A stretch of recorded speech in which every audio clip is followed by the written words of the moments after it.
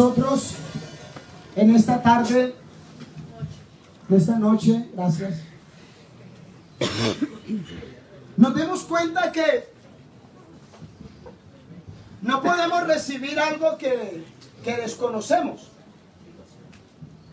Hay personas que dicen que han recibido el Espíritu Santo de otras denominaciones, pero ¿cómo lo van a recibir si no saben qué es, quién es, cuál es su obra antes del bautismo, después del bautismo? ¿Usted recibiría a alguien en su casa a eso de las 2, 3 de la mañana sin conocerlo y abriría la puerta? Claro que no. Entonces, hermanos, necesitamos primero saber qué es el Espíritu Santo. ¿Qué es? Después vamos a ver quién es. Y así nos vamos ubicando. ¿Por qué pedimos nosotros el Espíritu Santo? Son puntos importantes que necesitamos saber. Entonces, ¿qué es el Espíritu Santo? Hechos 1.3. Gloria al Señor Jesús. Vamos a abrir la palabra del Señor. ¿Qué es el Espíritu Santo? Hechos 1.3. Dice la palabra del Señor.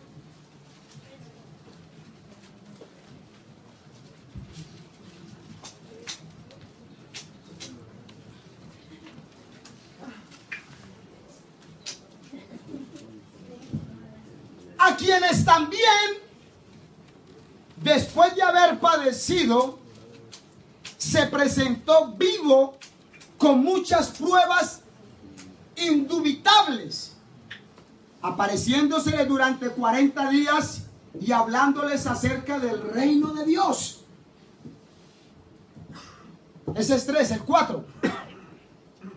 Y estando juntos, les mandó que no se fuesen de Jerusalén, sino que esperasen. Entonces mire lo que es el Espíritu Santo, es una promesa. La promesa del Padre, la cual les dijo, oíste de mí. Cinco. Porque Juan ciertamente bautizó con agua, mas vosotros seréis bautizados con el Espíritu Santo dentro de no muchos días. Entonces fíjese que usted está pidiendo una promesa. Algo que Él prometió. Porque para vosotros es la promesa. ¿Para quién más? Para vuestros hijos. ¿Para quién más? Y para cuantos el Señor nuestro Dios. Amén.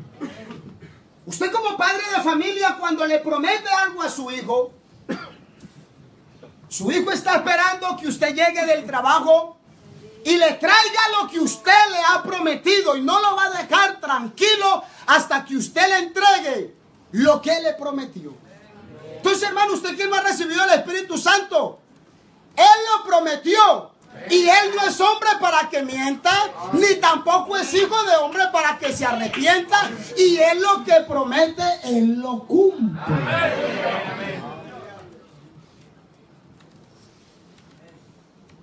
Una promesa. Ahora, ¿quién es? ¿Quién es esa promesa? Juan capítulo 4, el versículo 24. Gloria al Señor. Ya sabemos qué es. Es una promesa. Ahora, ¿quién es? Gloria al Señor. Juan 4, 24. Dice la palabra del Señor. Dios es espíritu y los que le adoran en espíritu y en verdad es necesario que le adoren. Entonces, ¿quién es el Espíritu Santo? Es el mismo Dios. No es ni la segunda ni la tercera persona de la Trinidad, ni una fuerza activa. Es el mismo Dios. Que venimos sintiendo desde que llegamos a este evento. A su nombre sea la gloria. Entonces fíjese que usted está pidiendo una promesa y ya sabe quién es. A su nombre sea la gloria. ¿Cuántos dicen gloria a Dios? El Espíritu Santo hace un trabajo antes del bautismo y después. Es un trabajo que solamente lo hace Él. Y lo encontramos, gloria al Señor Jesús, en Juan capítulo 16, el versículo 5. Vamos a ver el trabajo que él hace con la persona que todavía no ha recibido esta experiencia. Bendito sea el nombre del Señor Jesucristo. Juan 16, 5 dice, ahora voy al que me envió y ninguno de vosotros me pregunta, ¿a dónde vas? Siga mi hermano. Antes, porque os he dicho estas cosas, tristeza ha llenado vuestros corazones. Pero yo os digo la verdad, os conviene que yo me vaya, porque si no me fuere, el consolador no vendría a vosotros, mas si me fuere, os lo enviaré. Gloria al Señor. Siga, mi hermanito. Y cuando Él venga, mire el trabajo que Él hace antes de la llenura. Lo primero que hace es convencer al pecador que así como está viviendo, está mal. ¿A cuántos ha convencido el Espíritu Santo? No, yo no voy a esa iglesia porque yo no quiero que me convenza el pastor. Hermano, si no hemos convencido a nuestra esposa y puede vivir usted 200 años con ella y no la va a conocer.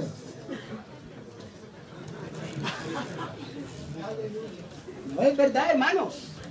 Convencer es difícil. Convencer es atraer toda la atención que lo que esa persona está diciendo así es. Cielo y tierra pasará, pero mi palabra no pasará. A nosotros nos ha convencido, gloria al Señor. El Espíritu Santo nos ha dicho, así como estás, estás mal.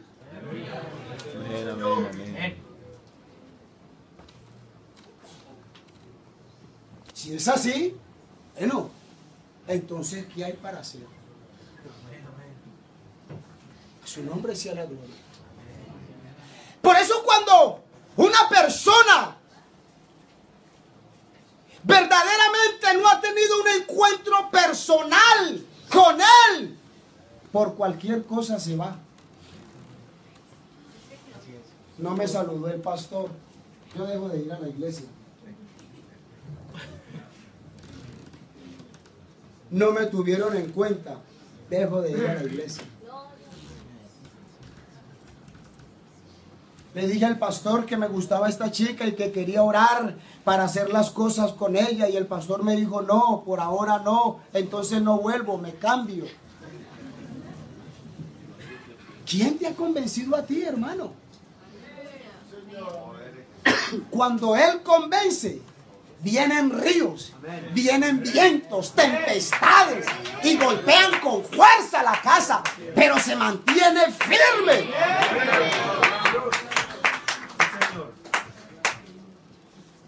Yo le decía a los hermanos en estos días, Satanás anda con un ácido.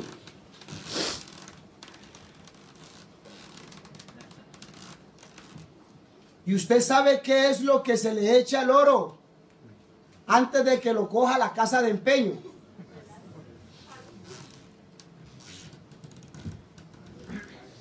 Vea que vengo a empeñar esta argolla con mucho gusto.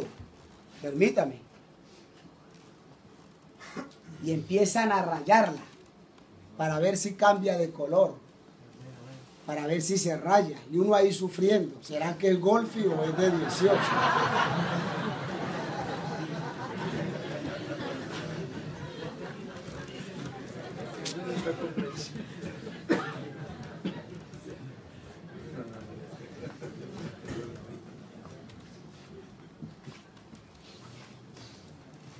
Después de que la raya,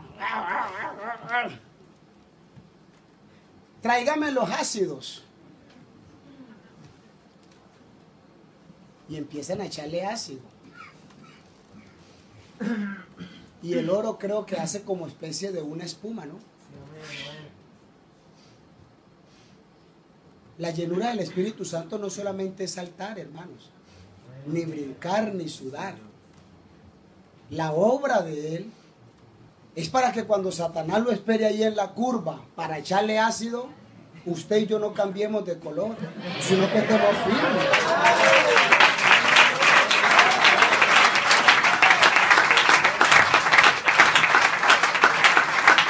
Si ese aplauso es para el Señor, que se lo más fuerte.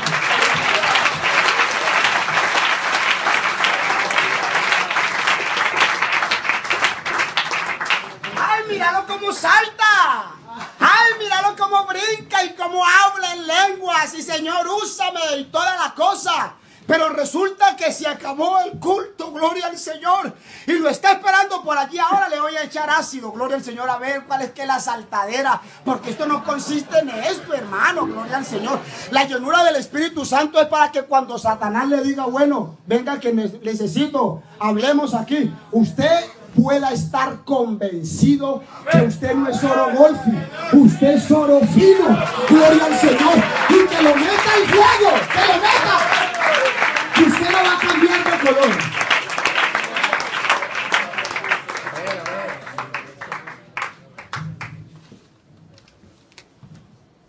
¿Cuántos jóvenes? Los vemos saltar y brincar eso no nos sirve cuando estemos al frente del problema. Cuando tengas que tomar una decisión, no lo hago, no lo hago, porque el Espíritu Santo me está diciendo que no. Ahí no está el pastor, ahí no está el diácono, ahí no está la hermana, ahí no está el hermano. Estás tú con él, es tu consolador, es tu guía, es tu fuerza, es una promesa, es el mismo, gloria al Señor, esperando a ver. Mire, hermanos, esta mañana yo le decía a los hermanos, en el 2015, en el reino de Satanás, nuestras cabezas tienen precio.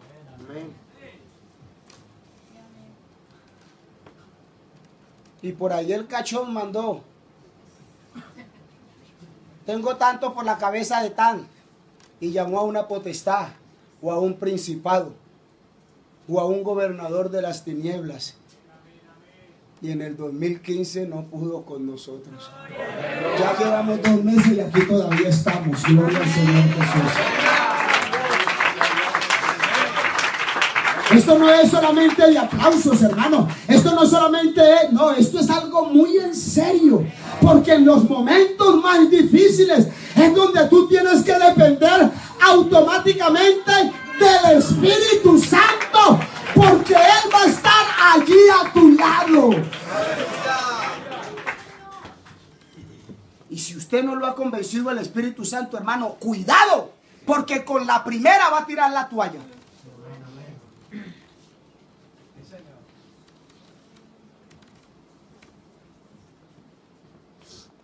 ¿Usted cree, hermanos, que lo que vivió Job, ¿qué fue? Eso fue una apuesta. Satanás con sus demonios de un lado y el Señor con sus ángeles en el otro lado. Y Satanás diciéndole, vas a ver cómo te van a negar y cómo te va a maldecir en tu presencia, vas a ver. Y el Señor diciendo, se lo suelto, lo conozco, sé quién es Él. Y eso dice el Señor hoy de ti, se lo suelto, yo sé que ese que me adora, ese me adora en espíritu y en verdad. Ese se levanta temprano, ese me busca, ese me ama, ese no es cualquier cosa. Y usted sabe la historia de Job. Satanás se lo quitó todo. Y cuando estaba esperando él que maldijera, que renegara, mire con las que sale. Desnudo salí. Y desnudo me voy a ir. Dios mío, eso fue para el enemigo, mejor dicho. Tenga, mi hijo, para que lleve. Jehová dio, pero Jehová quitó. Pero ¿sabe qué? Sea el nombre de Jehová bendito.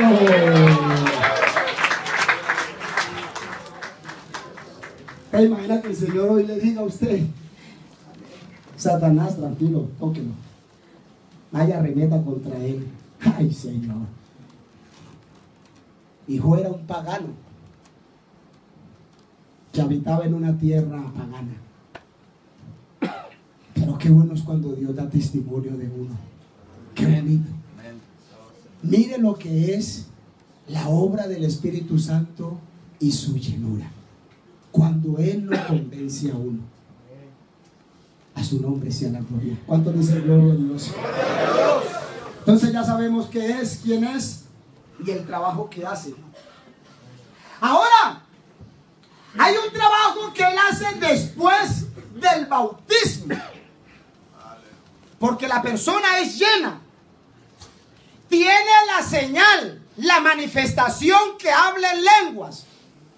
Después viene la confirmación. Pero viene un trabajo también, eso no se queda así. Hay un trabajo que él hace. Porque a veces los hermanos solamente, ah, ya recibí el Espíritu Santo. Bueno, pastor, ahora sí, ¿para qué? No, espérese un momentico. Porque él sigue trabajando. Él trabaja antes y trabaja después. Usted que no, no, lo ha recibido, Él está haciendo un trabajo en usted. Así usted de pronto no esté saltando, no esté brincando. Él está reparándole la vasija, se la está limpiando, se la está organizando, se la está preparando. Gloria al Señor. Lo está sanando emocional, sentimental. Está trabajando Él. ¿Para qué pedir llenura cuando la vasija no está bien? El aceite viene del cielo, pero si hay agujeros se va a regar. Y por allá el hombre de Dios dijo guardar buen depósito por el Espíritu Santo que Después del bautismo del Espíritu Santo, gloria al Señor, Él sigue trabajando porque su llenura nos sirve para nosotros poder predicar. Gloria al Señor. Hechos de los Apóstoles capítulo 4. Abra su Biblia.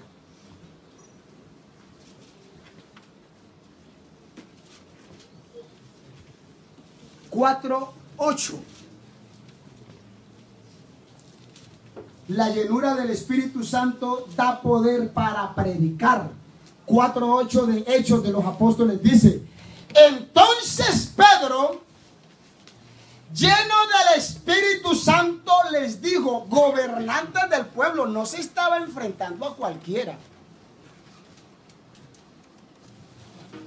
Y eso es lo que quiere hacer él, llenarnos para hablarle al alcalde, para hablarle al concejal. Por allá estábamos eh, en una oportunidad en un pueblo y estaba el presidente del Valencia y estaba este señor eh, Vicente, del Bosque. Y cuando yo lo vi, yo dije, ¿qué? Aquí le voy a dar su tratado. Y estaba este señor eh, Villar, el presidente de, de, la Asociación de Fútbol de España. Y cuando lo vi, yo dije, aquí, aquí me le voy a meter. Y yo llevaba mis tratados. Y cogí al señor Villar, que es una persona muy importante, es el vicepresidente de la UEFA. Le dije, ve Villar, Jesucristo te ama y te quiere salvar. Y se quedó así.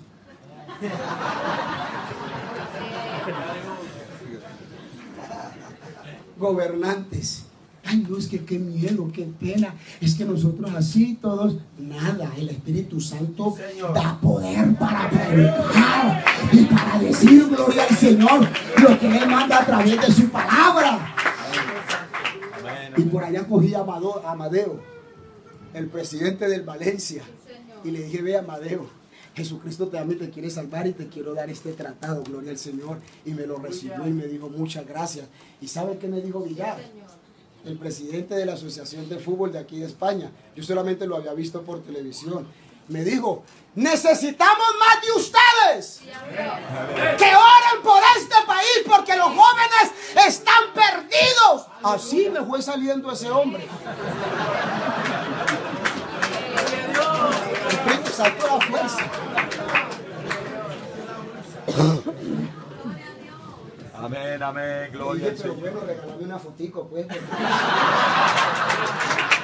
El testimonio. El testimonio.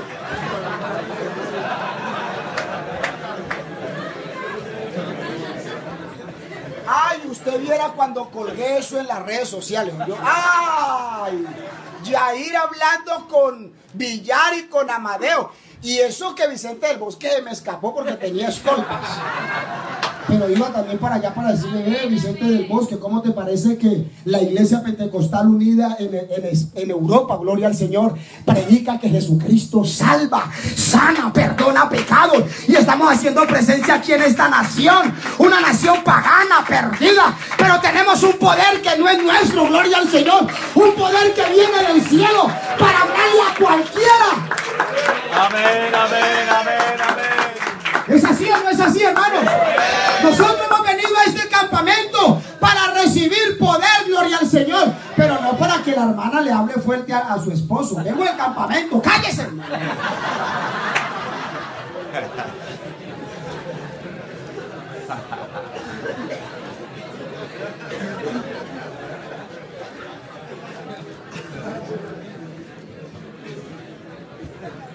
Gobernantes del pueblo y ancianos de Israel, nueve.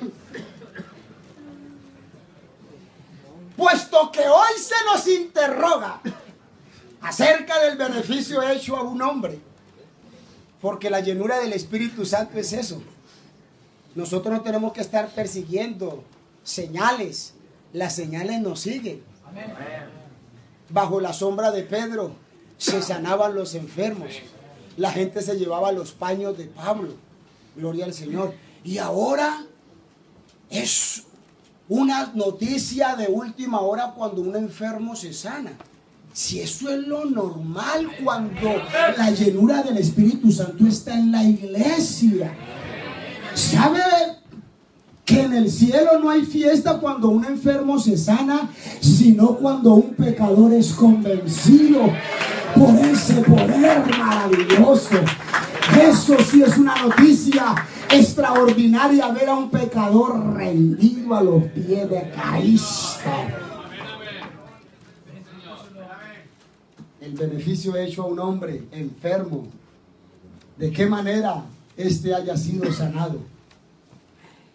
Sea notorio a todos nosotros y a todo el pueblo de Israel que es en el nombre, no en los nombres. Es en el nombre. Cuando usted invoca el nombre con poder y con confianza, hermano, van a suceder cosas grandes, hermano.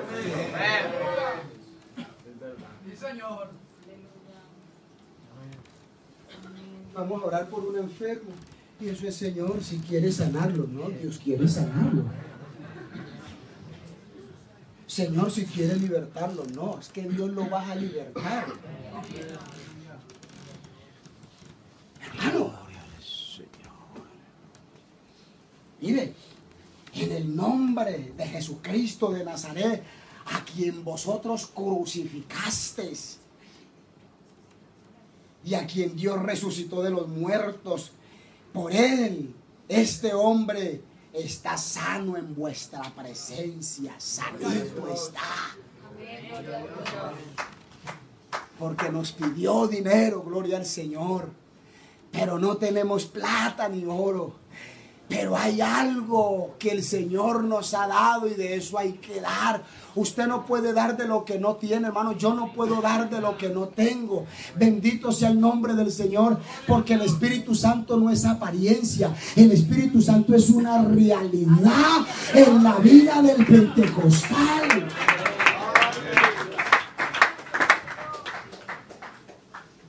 Entonces, el Espíritu Santo da poder para predicar. Pero también nutre.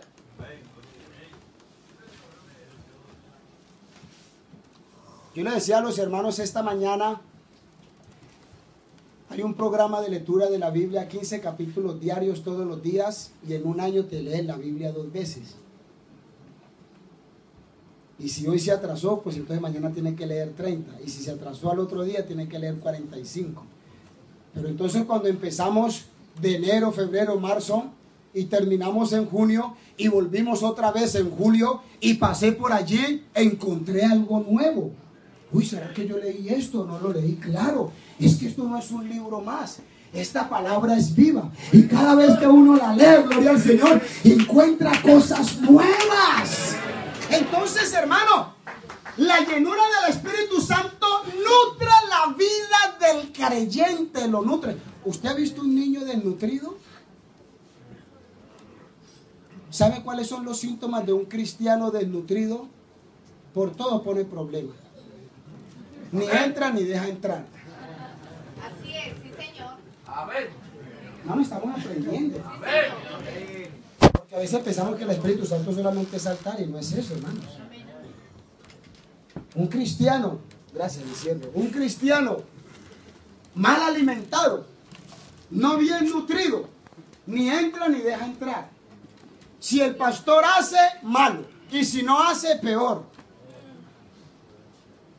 ¿Y por qué colocaron ese, ese, ese florero ahí? ¿Y por qué colocaron esto acá? Es un Sí, problema. señor, sí, Pero un cristiano nutrido con la palabra, ¿sabe qué sucede? Lo que le pasó a Eliseo, segunda de Reyes capítulo 13. Bueno, no lo busque porque nos lo van a proyectar. Mire lo que pasa con un cristiano nutrido.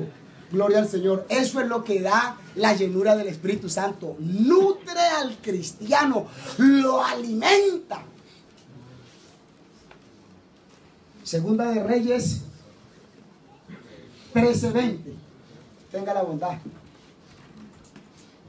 Murió Eliseo y lo sepultaron. Entrado el año, vinieron bandas armadas de moabitas a la tierra. Y aconteció que al sepultar a a unos, a un hombre, súbitamente vinieron, súbitamente vieron una banda armada y arrojaron el cadáver en el sepulcro de aquel que estaba bien alimentadito. Y es que cuando un creyente, cuando un pentecostal es bien alimentado por la palabra, por la llenura del Espíritu Santo, aún sus huesos dan vida. Gloria a Dios. Ese muerto tocó los huesos de este bien alimentado y se levantó. Gloria al Señor Jesucristo. Porque la llenura del Espíritu Santo es eso, hermanito querido. Mire lo que usted está pidiendo. Alimentarse con la palabra, edificarse.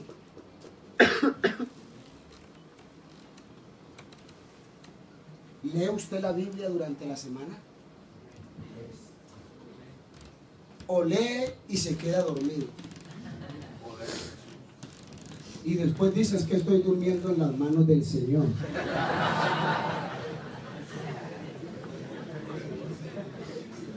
Eso no es alimento, hermano. Y así queremos estar orando por todo el mundo, imponiendo manos. Y vea, yo le voy a decir una cosa. Es muy delicado eso estar de imponiendo manos, hermano. Tenga cuidado.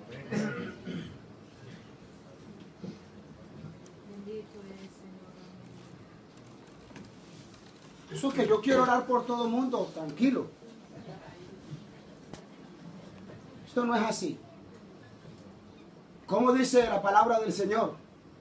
¿Está alguno entre vosotros? ¿Cómo dice? Enfermo. ¿Qué pasa? Llame a los ancianos de la iglesia y oren por él ungiéndole con aceite. Y la oración eficaz del justo puede mucho. Uno no puede estar imponiendo manos a la ligera porque puede estar participando de pecados ajenos.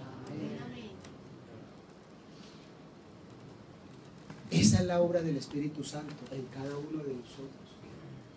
A su nombre sea la gloria. El Espíritu Santo, la llenura del Espíritu Santo revela lo oculto. ¿Sí sabía usted eso, hermano? Usted que ya lo tiene. Y usted, hermanito, que lo está pidiendo. Y que lo va a recibir esta noche porque es que Él está aquí, hermano. Eso no es que si lo va, no, lo va a recibir, hermano. Porque a eso hemos venido. Hemos hecho kilómetros, hemos hecho una inversión. Y usted cree que es una promesa. Un Padre tan bueno lo va a ver a usted llorando, clamando, adorando y lo va a ignorar. Nuestro Dios no ignora a nadie. Amén. Ahora pues mis ojos y mis oídos están atentos a la oración en este lugar. Es un padre que uno le clama y ahí está.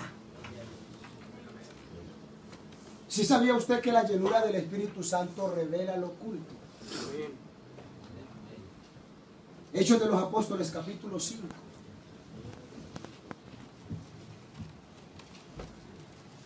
Aleluya. 5. Ahora cuando usted esté lleno y usted esté, mejor dicho, ay Señor, esto se puso fue, pero yo no sabía que el Espíritu Santo era para todo esto. Y eso que hay mucho más. Porque cuando Él venga, Él tomará de su espíritu, no va a tomar nada más. Esta carne negra, nada. Va a tomar de su espíritu.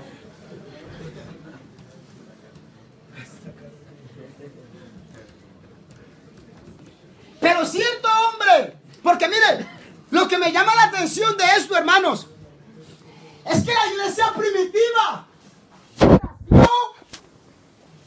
con un mover del Espíritu Santo extraordinario, hermano. 120 estaban por allá reunidos. Y ese estruendo, hermano, eso fue algo poderoso. Primer mensaje, 3000. Y uno necesita 3000 para ganarse uno, hermano.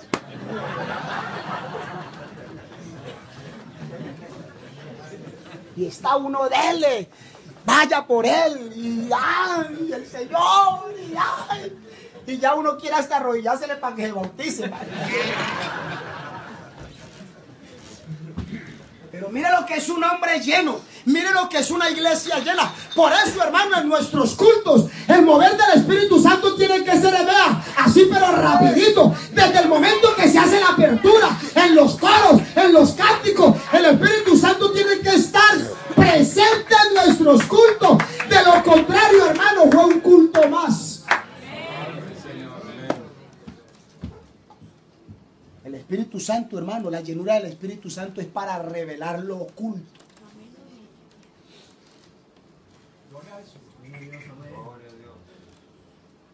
Después en el otro sermón, ¿cuántos fueron? En el primero tres mil y en el segundo, Dios mío, dos sermones y ocho mil. Usted imagina una iglesia de ocho mil nosotros, con una iglesia de ocho mil con pastores asistentes por todo lado y maneja aquí, bueno.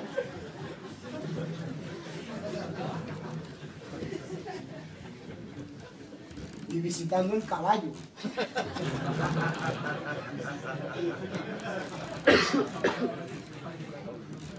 Mire, le voy a decir una cosa. Ahora que el Espíritu Santo lo esté llenando, usted se dará cuenta, hermano, que esto es algo glorioso. Y es una necesidad. Esto no es que yo lo quiero. Esto es una necesidad. El Espíritu Santo, hermano, cuando la jovencita está al frente del espejo, el Espíritu Santo le está diciendo, "Mm, mm, esa falda no, ¿oís?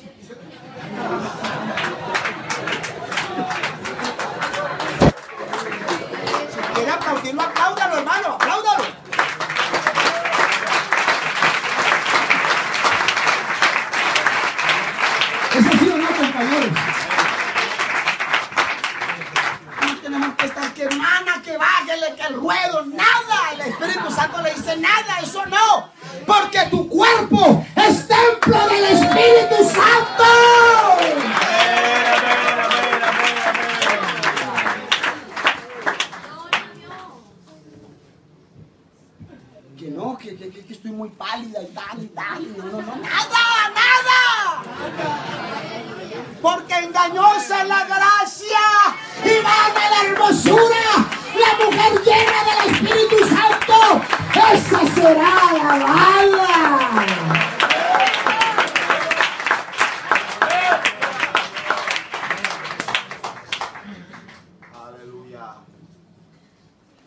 Ese esposo que en la iglesia, ve hermano, nosotros, este hermano, eso es algo glorioso, hermano. Cuando uno entiende verdaderamente lo que es la llenura del Espíritu Santo, uno le da hasta vergüenza de todas las cosas que hizo antes, porque uno, bueno, vergüenza en el sentido de que uno pensaba que solamente era la saltadera y todo. Vean, nosotros nos fuimos para un campamento. Y usted sabe que el caleño es muy recochero y hace, y hace recocha pesada, broma pesada.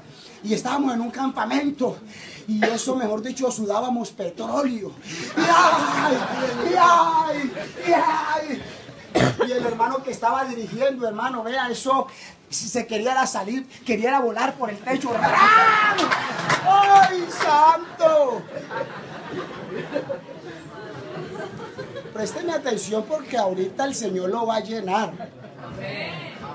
Poquitos amenes, pero yo lo vea, Estoy convencido, hermano. Amén, amén.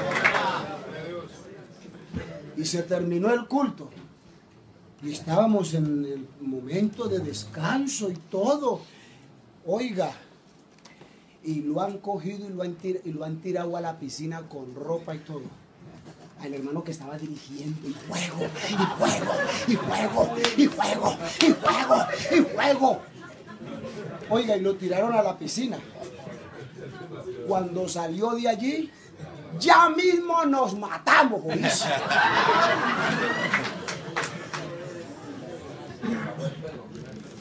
¿Dónde está el juego? El juego quema, el juego mata. ¿Usted cree que es lleno del Espíritu Santo diciéndole cosas feas a su esposa? El pastor no se da cuenta, pero el Espíritu Santo es el que revela lo oculto.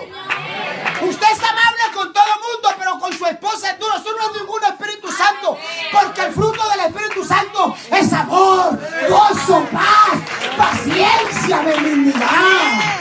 Ese es el fruto. Primero llena, después da fruto y después da.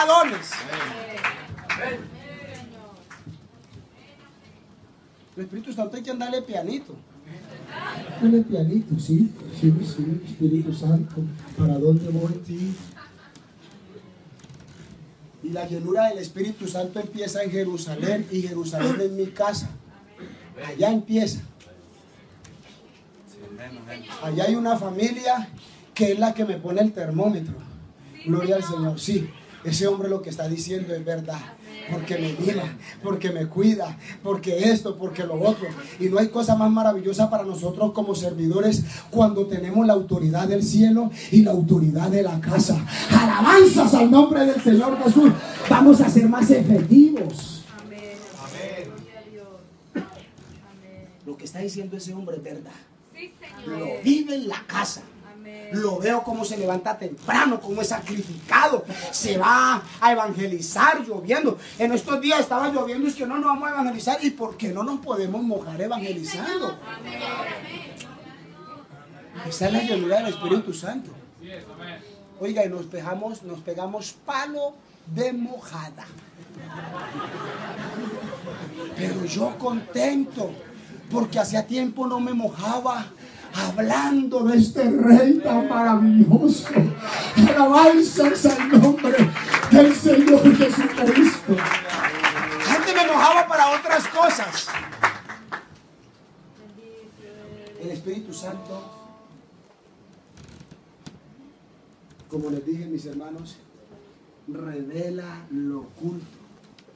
Pero cierto hombre llamado Ananías, con Zafira su mujer, ojo hermano, porque la llenura del Espíritu Santo no te hace mentir ni que tu esposa mienta por ti. Di que así fue, di que así fue para no quedar mal. No. Hermano, estamos aquí en una escuela y estamos hablando es, ¿usted quiere ser lleno? Necesitamos esto. Usted no lo ha recibido, necesitamos esto. Usted lo ha recibido, pues bueno, mire pues, ¿cómo es que es el Espíritu Santo? El Espíritu Santo no es de varias formas. Uno en, la- en el trabajo, otro en la casa y otro en la iglesia. En la iglesia, eso mejor dicho, venga, por aquí que fue. Ya, pero en la casa y en el trabajo, que ni siquiera se vayan a dar cuenta que es pentecostal. El Espíritu Santo no tiene varias formas. Él tiene una forma. El mismo que soy en la casa, soy en el trabajo, soy en la iglesia, gloria al Señor. Porque el Espíritu Santo es santo.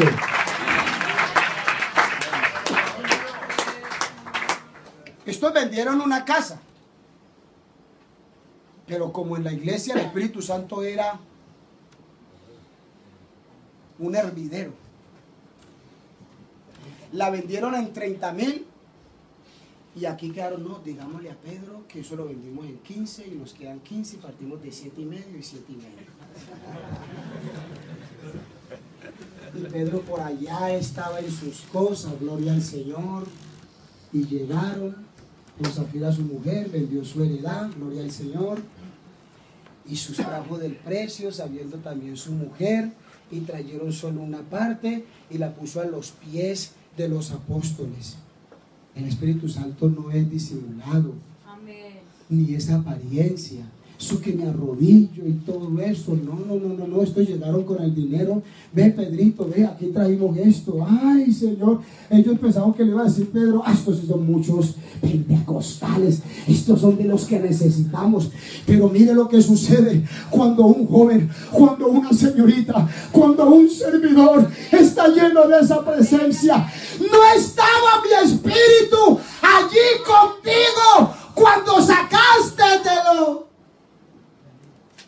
de lo había atendido. Ahí estaba yo. Es tuyo todo. ¿Para qué tenés que mentirle al Espíritu Santo? A los hombres le podemos mentir, hermano. Y ahora, hermano, hay un espíritu de mentira que quiere meterse a la iglesia y queremos mentir entre dientes y queremos volvernos mentirosos, compulsivos, gloria al Señor. Pero la llenura del Espíritu Santo nos hace hablar la verdad, así la cara se nos ponga roja por un momento.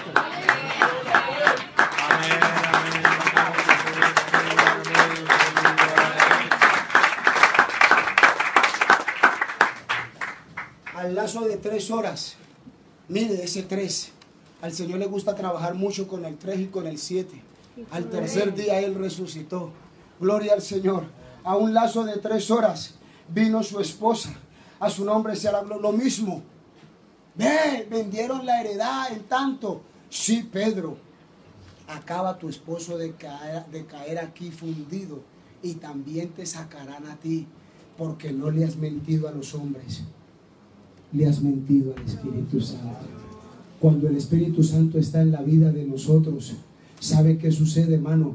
Esa llenura hace que salga de nuestra vida lo que nosotros pensamos que está bien y no está bien. Amén, amén, gloria a Dios. El Espíritu Santo se anhela. Juan 7:36. Usted solamente lo está pidiendo, lo está anhelando. Para usted, ¿qué es esta palabra anhelar? Ay, desear algo. ¿Qué más? ¿Qué otra cosa podemos colocar esa palabra anhelar? En el último y gran día de la fiesta, Jesús se puso en pie y alzó la voz diciendo, si alguno tiene sed, venga a mí. Mire entonces los pasos. Primero tener sed. Si usted y yo no vamos a hacer deporte ahora, gloria al Señor, y quizás pasamos un par de horas practicando algún deporte, quiero decirle que cuando yo llego a casa, ¿qué es lo que quiero? Puedo ver el pollo asado allí servido. Yo tengo sed. Usted quiere que el Señor lo llene con el Espíritu Santo, está produciendo sed. ¿A qué hora se acuesta? ¿Cuánto lee usted la Biblia? ¿A qué hora usted llega al culto? ¿Es reverente? Eso es producir. Eso es producir sed. Eso es producir sed. Acercarse a Él y beber. En el último y gran día de la fiesta, Jesús se puso en pie y alzó la voz diciendo, si alguno tiene sed, venga a mí y beba. El que cree en mí, como dice la escritura, de su interior correrá. El Espíritu Santo no se puede estancar porque un agua estancada huele feo. El Espíritu Santo tiene que correr. De su interior correrán ríos de agua viva. El agua tiene que correr. Entonces la llenura del Espíritu Santo produce eso, anhelo. Gloria al Señor. Ya voy terminando. Es indispensable el Espíritu Santo para servir. Hechos de los Apóstoles 6.3. Ahí se lo vamos a proyectar. Pastor, que estoy listo. Pastor, pastor, que estoy listo. Mire, Buscad pues, hermanos entre vosotros, a siete varones, el número siete, de buen testimonio, porque la llenura del Espíritu Santo produce en nosotros un buen testimonio para adentro y para afuera. Llenos del Espíritu Santo y de sabiduría, a quienes encarguemos de este trabajo, tenían que ser llenos para servir las mesas, para servir la comidita. Llenos. Porque cuando se sirve sin la llenura del Espíritu Santo, eso produce fiebre. Y el Señor tuvo que quitarle la fiebre a la suegra de Pedro y después ella se levantó y servía. Con fiebre no se puede servir porque usted no lo va a hacer bien. Hay que quitarle primero la fiebre. Eso no es que yo quiero, no. La llenura del Espíritu Santo es hasta para coger una escoba, para limpiar las sillas, para abrir la puerta de la iglesia, para coger un micro, para vocalizar. Eso de estar tocando y tocando, no. Primero tengo que ser tocado para poder tocar. Primero tengo que ministrarle a Él para poder ministrar. Esto tiene que ser así, hermano, porque todo lo que hay en la iglesia es santo, es sagrado. Hermano querido, usted quiere servirle al Señor, necesita la llenura del Espíritu Santo, porque el Espíritu Santo es un respaldo para que cuando usted se quede sin palabra, entonces la influencia del Espíritu Santo le dé, dígame esto, hijo.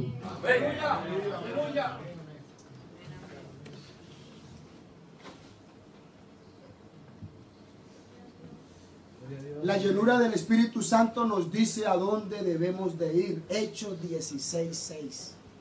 Gracias, hermano, por proyectarnos estos versículos. Hechos 16, 6. Cuando uno está influenciado por el Espíritu Santo, no va para cualquier parte. Y atravesando Frigia y la provincia de Galicia, les fue prohibido por el Espíritu hablar la palabra en Asia. En otra palabra, el Espíritu Santo dijo, "Mm, mm, para Asia no. Esa es la llenura. Señor, este pueblo, no, tranquilo, ya llegará el momento de ese pueblo. Primero trabajemos en Judea, que en Judea hay mucho trabajo. A su nombre sea la gloria. Pero cuando la llenura del Espíritu Santo no está en la vida del creyente, se va para cualquier sitio. Pero qué bueno es cuando Él nos dice, Él nos marca el derrotero. Hay que ir por aquí, hay que ir por acá. Ahora sí póngase de pie, tenga la bondad.